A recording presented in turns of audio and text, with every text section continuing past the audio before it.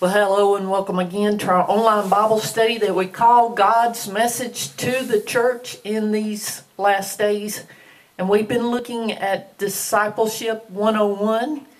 We've went through the building blocks that were people of the book, talking about the B-I-B-L-E, that we meditate, we think about, we study it, we study to show ourselves approved unto God, a workman that needeth not to be ashamed.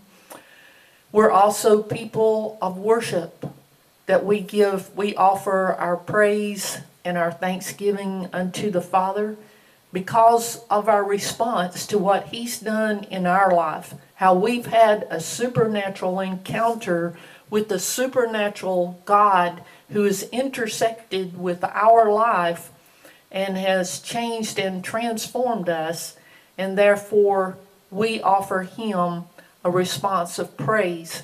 And then we're people of prayer that the Bible says pray without ceasing and that we are to ask and keep on asking. We're to seek and keep on seeking. We're to knock and keep on knocking.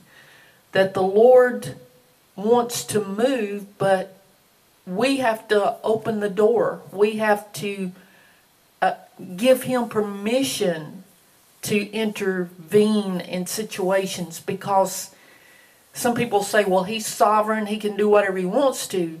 It's true, he is sovereign of the universe, but he gave dominion of this world over to us, and he will not usurp our authority until we give him permission to do so.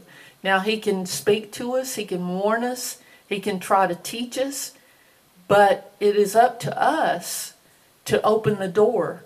Jesus said, Behold, I stand at the door and I knock. Anyone who will hear my voice and open the door, I will come in and I will sup with him. But you see, he's not going to bust through the door. He's not going to usurp our authority. He says, You have to open the door if you'll open the door, then I will come in. I will intervene. And we'll talk about that more as we go along. But we uh, also are people of fellowship, that we're not in this by ourselves, and that even as Jesus sent his disciples out two by two, and he chose 12, and then later it became 70, and then 120, and the numbers grew as time progressed. But there is that connectivity that we have with one another, and it is so important, especially in these end times, that we do not forsake the assembling of ourselves together because we need the prayers and the support of one another. For my group that I am, well, as part of our discipleship, part of my prayer is that I pray, I lift up those that are part of my group. They're on my prayer list every day. And it's very important that we stay connected to one another. sure, you can say, well, I can be a believer. I can believe in the Lord Jesus Christ, but I, that doesn't mean I have to be a part of a body like a church. Well, you can believe and you can have a relationship with God, but that's not how He designed it to work. He says it should work in a community as you're working together. You hold each other's arms up. Just like Moses, when the children of Israel first went to war after they had been released from their slavery, Moses went up on the mountain and he had Aaron and Hur on each side of him. But as long as he held up his arms, the nation of Israel was winning. But whenever he dropped his arms, they were losing. And so finally, they had Moses sit down, and Aaron and Hur were holding up his arms, and they were victorious in the battle as a result. That's a picture of the fact that we need each other to hold up our arms because some, because sometimes we get tired and weary and And it's so important that we encourage and strengthen and help sustain one another in our warfare because we're in a spiritual battle, and especially now.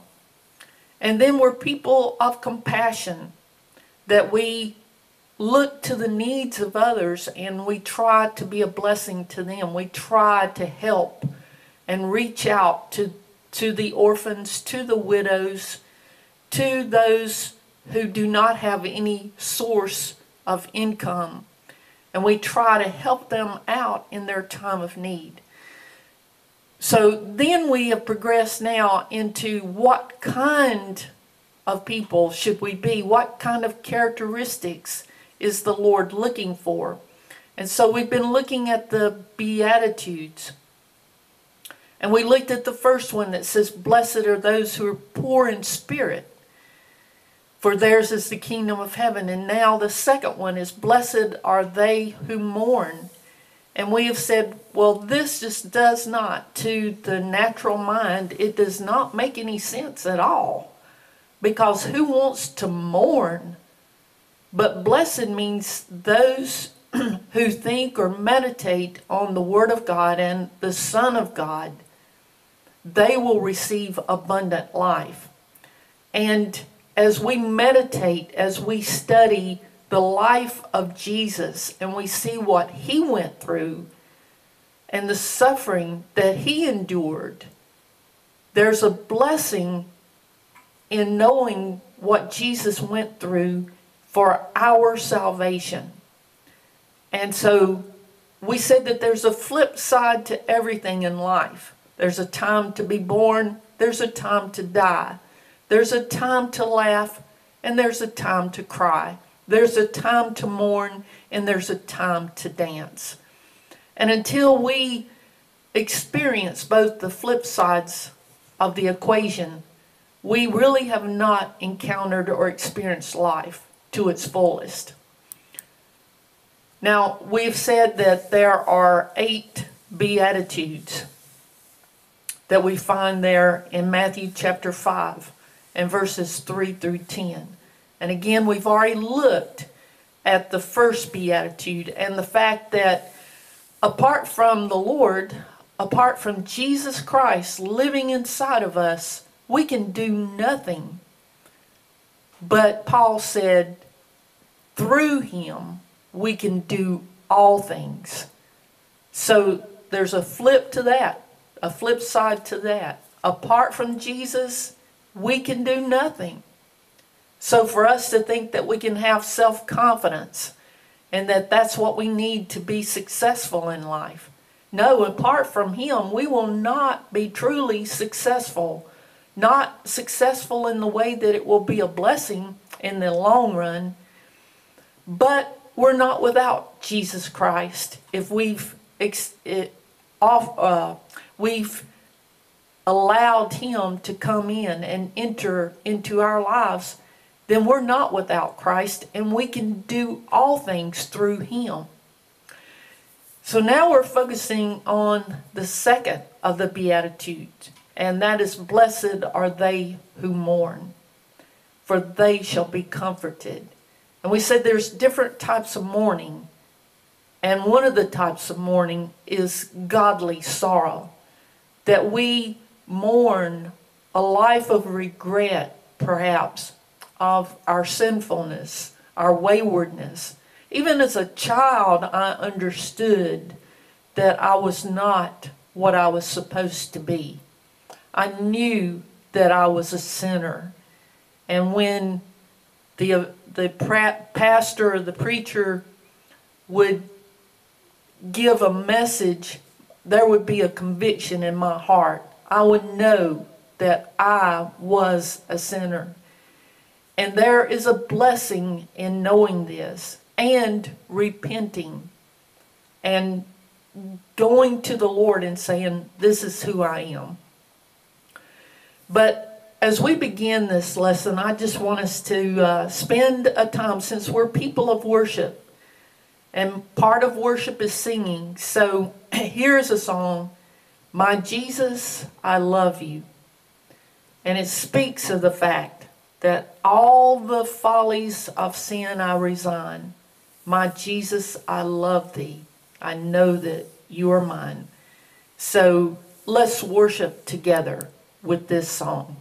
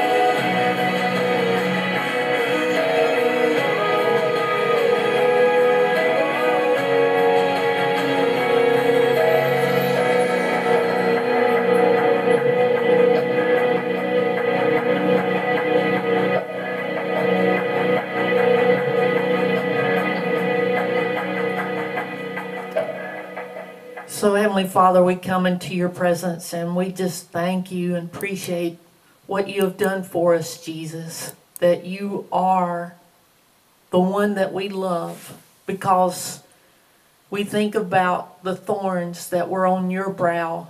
We think about the pain, the suffering that you endured for our sins and for our salvation. And we come before your presence just with thanksgiving in our hearts. And we come into your courts with praise as we bow before you and as we offer you our heart, our life, and everything that we are, Lord, because you did the same for us.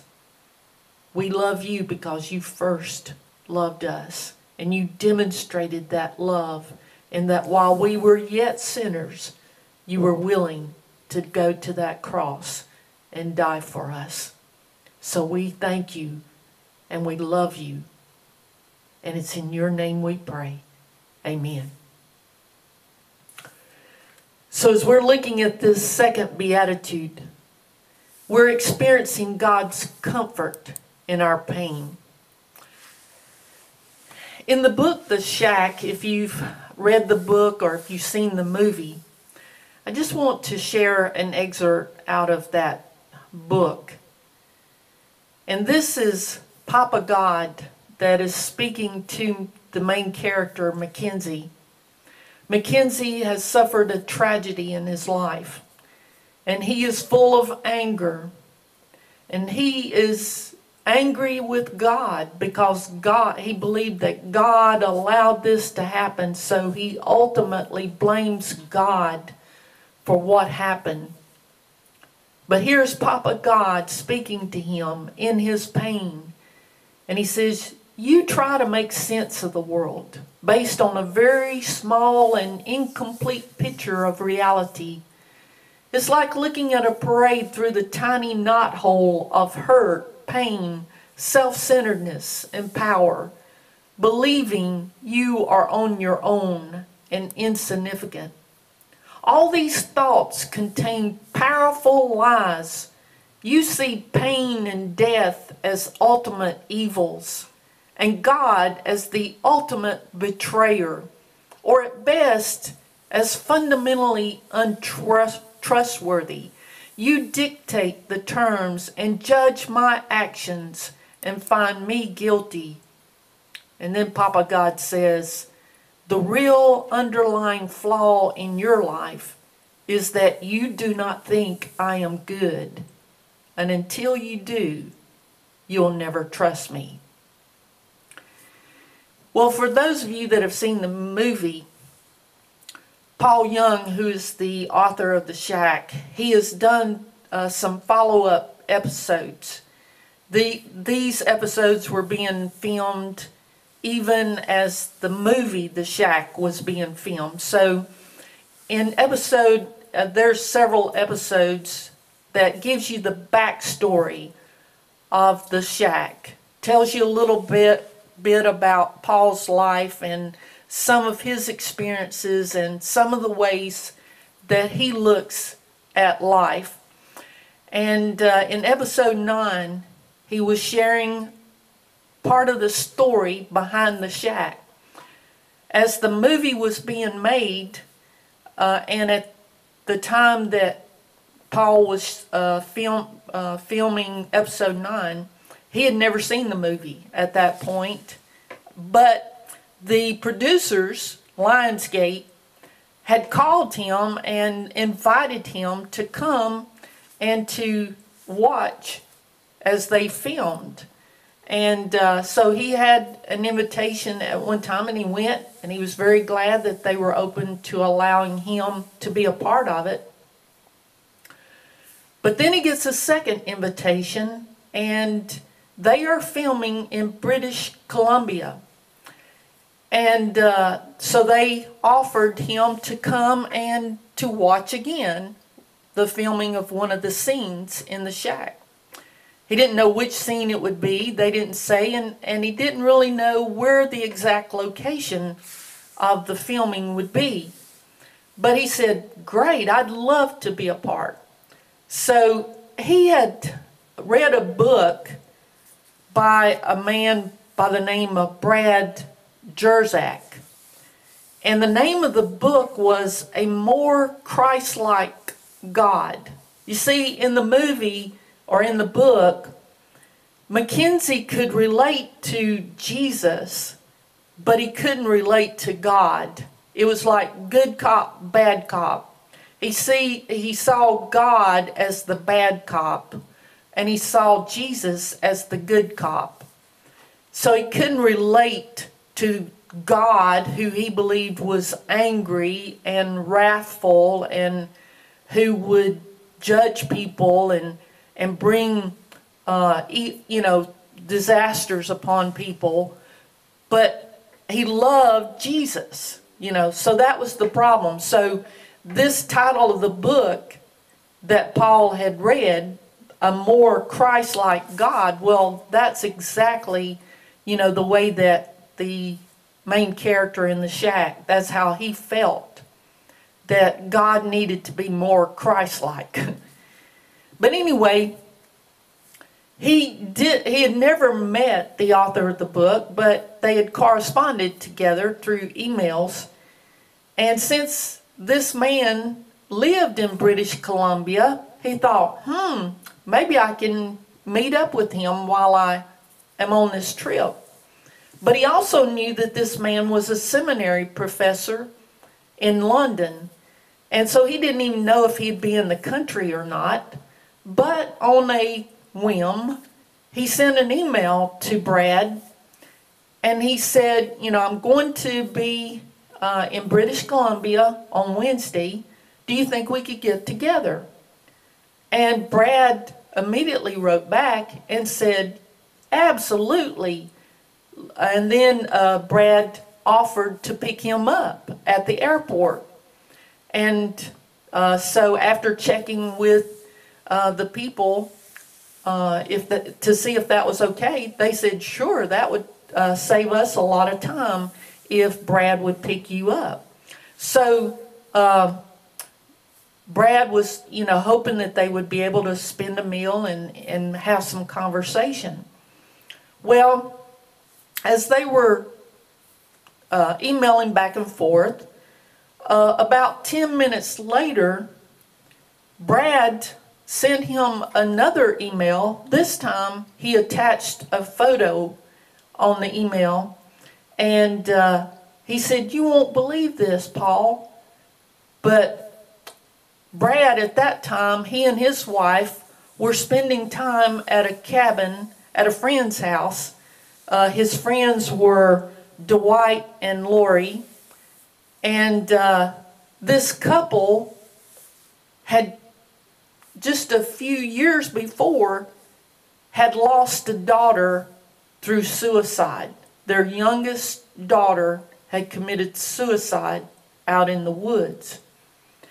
And so, as Brad had been emailing back and forth with, uh, with Paul, uh, he was walking with Brad, I mean, with DeWitt, Dwight.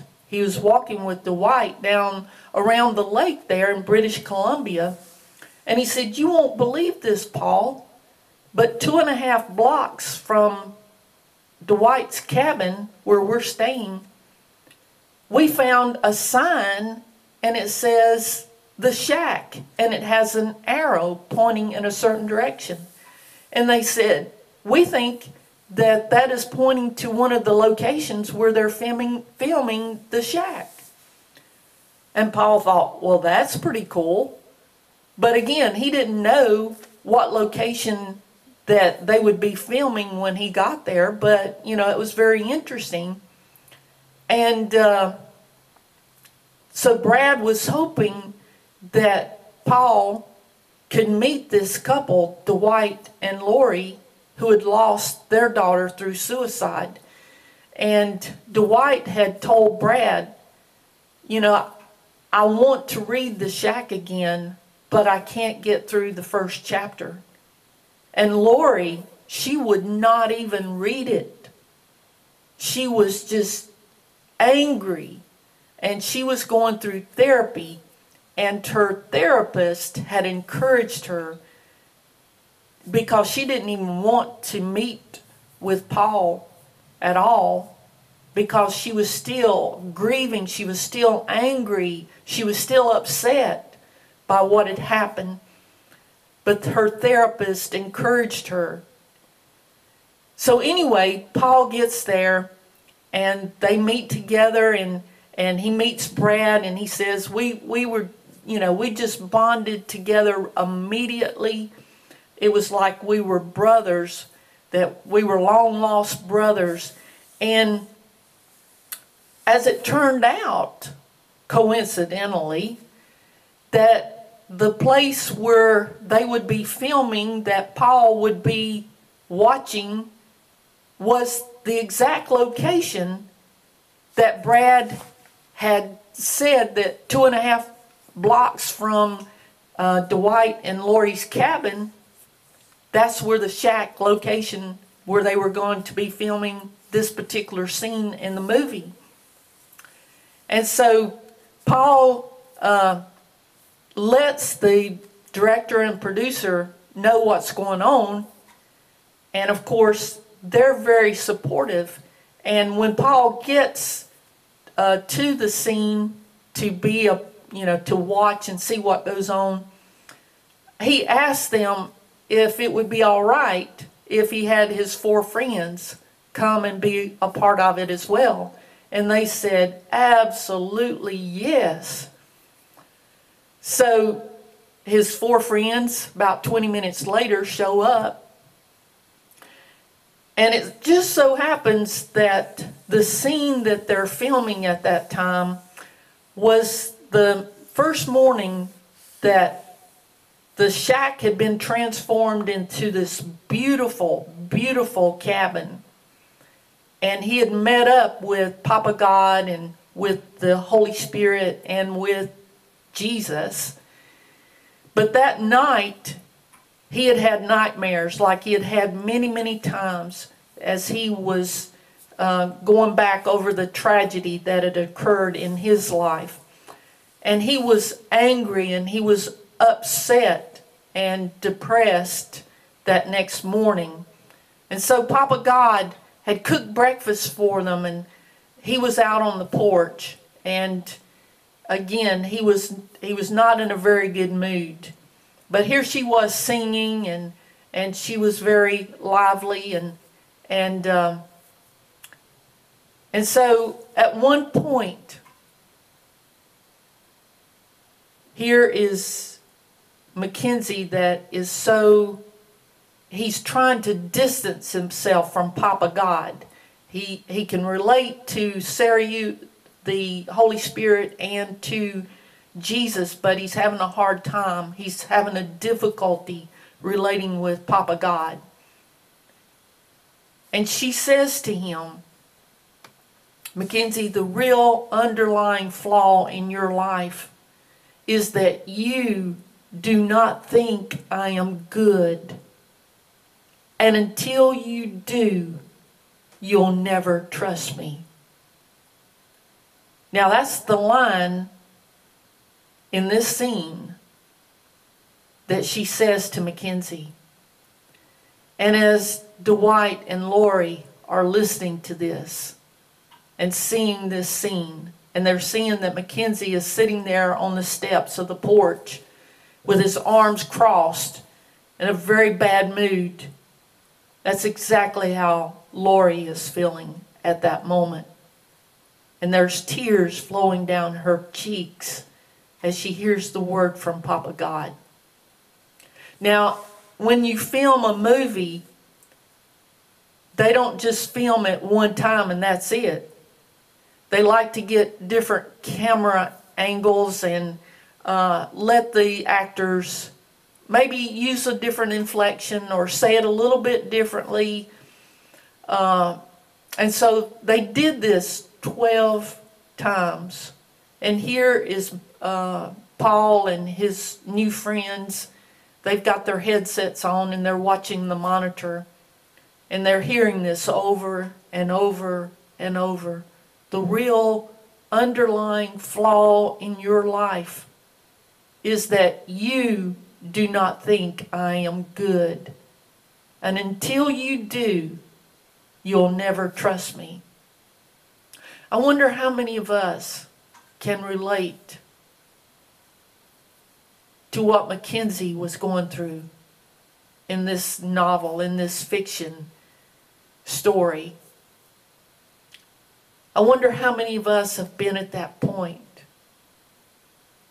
That we wonder, God, why did you allow this to happen? If you're sovereign, why didn't you do something to stop this? And you know, as I was thinking about that, what do we want God to do? Lock us up in a closet and put us in prison until all the hurts and pains of this world are, you know, we're shielded from it. What, what do we really want God to do? God warns us. He tries to speak to us. That's what it says over and over, especially in the Old Testament. How God would try to warn and, and speak to the children of Israel. But they were so stubborn and rebellious they wanted to do things their own way. They, they didn't want God. They wanted to be like everybody else. And when they became like everybody else and when they worshiped like everybody else, it brought disaster on their own head. But then they would blame God for allowing it to happen. How many times has a parent told their child, don't do this, you'll hurt yourself? or a teenager, no, you can't go to that because they'll be, you know, doing things and you'll be tempted and and yet a teenager wants to be accepted and wants to be part of the group. And and they become rebellious and they slip out and they go behind their parents' back and they do things and they know it's wrong. They know it's wrong. They've been told, they've been warned, and yet they do it anyway. And then they get into trouble, or even they, they hurt themselves, or even kill themselves. But it's not because they haven't been warned, and it's not because they haven't been told not to do it. What do you want God to do? Lock you up in a cage and not let you out so that you'll never be hurt? so you'll never experience pain or loss? What would you want him to do? Well, get rid of the evil people? It's just like in the, the book The Shack. At, at the end, Papa God is wanting Mackenzie to forgive the very man who had brought about a horrible, horrible, horrible crime. And he says, I don't want to forgive this man. I want you to send him to hell. And Papa God is saying, You don't know this man's story. You don't know what he's gone through. You don't know what has made him become the kind of man that he is. You don't know how his father treated him. And, and he's just reflecting what has been done to him. So who should I judge? Should I judge this man or his father or his father? Or should I go back to Adam? Should I have never created anyone? What do you want me to do? Because I have given you dominion of this world. I have given you principles to live by. I have told you here is the way that your life will be blessed.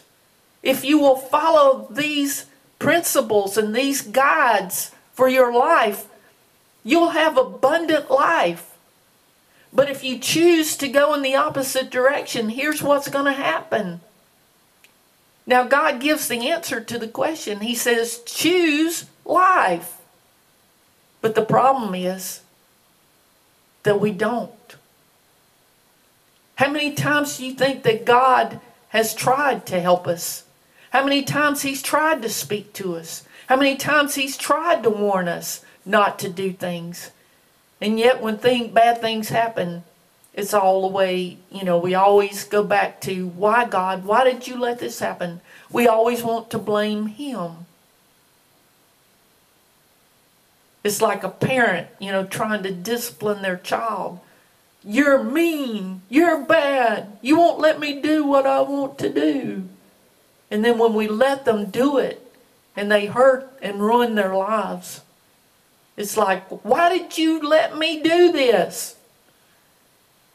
My sister, she always wanted to play the piano, but when she took piano lessons, she didn't want to do it.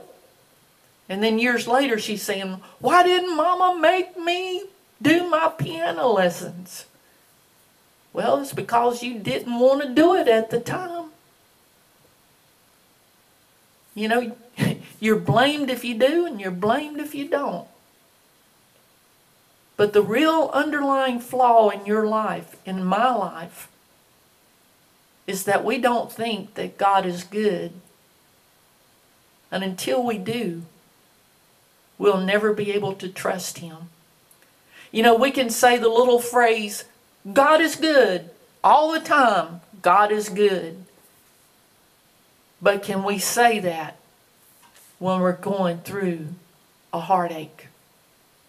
Can we say that in our pain? That's a different story, isn't it? But the psalmist said in Psalm 23 4, even in the valley of the shadow of death, even in this dilapidated and broken world, the Lord is with us. His rod and his staff, they comfort me. His rod for correction and his staff to rescue us, they comfort us. We need the rod of correction, whether we like it or not, whether we, we resist it or not. But some people are so stubborn and rebellious that they hate the rod of correction. And only when they get in trouble are they wanting the staff of rescue. But the Lord never leaves us. He never deserts us. You know, the part in the shack where it's talking about, where were you? Where were you when I needed you? And he was thinking about Jesus on the cross when Jesus cried out, My God, my God, why have you forsaken me? So Mackenzie had always thought that God had forsaken Jesus on the cross. And God, Papa God, says to Mackenzie, I never left him. I never deserted him. And she has Mackenzie look at her hands, her, her wrist, and he sees the nail prints in her hands. And he said, what are, what are they there for? You know, Jesus said, I and my Father are one. You know, when, when a child suffers, a parent suffers. God was there. It was the worst day of his life, so to speak, what Jesus went through at the cross. And even though that may be how we feel, my God, my God, why have you forsaken me? In our brokenness, in our pain, to know that His Word says, I never leave you, I never forsake you. I am there. And my presence is there to comfort you. The Apostle Paul said, Just as we have borne the image of the man made of dust, this is talking about Adam. Remember, in the beginning, God created man from the dust of the ground. And we've borne the image of the man made of dust we will also bear the image of the heavenly man. You know, one of the words that God gave to his people, and I'm using the words because the Jewish people do not say the Ten Commandments, they say the Ten Words. These are the words of the Lord. And he says, You shall have make no other image. You shall not make a graven image. The reason being is that in the beginning he made man in his image. So when we look at one another, we are looking at the image of God. When we look into the face of another person, we're looking at the image of God because we were made in His image. So when we hurt another person, we're hurting God. When we hurt ourselves, we are hurting God. We are made in His image. And the Bible says, how can we say that we love someone else? How can we say that we love God when we don't love our fellow man? Because our fellow man is made in the image of God. How can we say that we love God if we don't love man? And if we can't love someone that's right in front of us that we can see with our eyes, how can we love the invisible God? It's just things to think about. So the opposite of godly sorrow or teshuva, which means repentance or turning, the opposite of that is a profane worldly happiness. We want to eat, drink, and be merry. We want to have a good time. And I get so burdened when I hear someone say, Oh, God wants us to be happy, happy, happy. He wants us to be blessed, blessed, blessed. Blessed goes deeper than happy, happy, happy. The worldly happiness is something that won't last. The godly happiness, the godly blessing is something is for a lifetime. It says, Oh, the misery of those who love this world, for they will receive no consolation in the world to come. If all we care about is what is happening in this life, John wrote in his letter, 1 John chapter 2 verse 15, do not love the world or the things in the world. If anyone loves the world, the love of the Father is not in him. Jesus said, lay up your treasures in heaven. So, in other words, don't put your love on things that are going to corrupt and that won't last. So when we think about mourning, it's pentheo, which means to lament. It pertains to godly sorrow. Godly sorrow comes from a person who is poor in spirit, one who realizes their need, who says, without, apart from Jesus, I can do nothing. is it's not self-confidence, it's God confidence. It's putting our trust, our faith in Him and so, godly sorrow means mourning over the gravity of sin, what we've done, the mistakes, the, the sins that we've committed that's really messed up our lives, destroyed not only our life, but, but maybe other people as well. As the Apostle Paul wrote in 2 Corinthians chapter 7, for godly sorrow produces repentance, leading to salvation not to be regretted, but the sorrow of the world produces death. The sorrow of the world. Yeah, you can eat, drink, and be merry, have a party, ha have a big time, but in the end, where's it going to leave you? For observe this very thing that, let me go back, I'm sorry. So observe this very thing that you sorrowed in a godly manner. So blessed are those who mourn, for they shall be comforted. You see a father wrapping his arms around his children and bringing comfort to them in their pain, in their loss. This is how God wants to be with us. You know, there is something very, very intim- intimate about being comforted. To have someone wrap their arms around us when we're suffering a loss or a pain in our lives. There's a bonding that you would, wouldn't have had it not been for the circumstances. It is a reaching out to someone else and letting them know that you are with them and you're supportive of them and that you love and you care about them. Well, that's the way that God is.